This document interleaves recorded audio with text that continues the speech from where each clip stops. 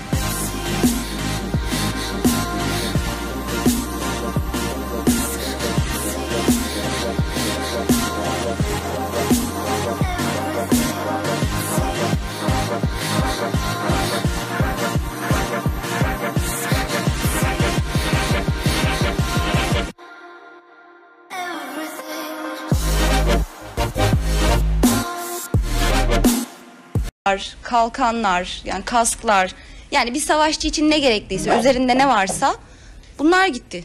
Nazife Çetin hırsızlık mağduru. 5000 lira değerinde zararı olduğunu söylüyor. Ama çalındığını söylediği şeyler evinden değil, bilgi...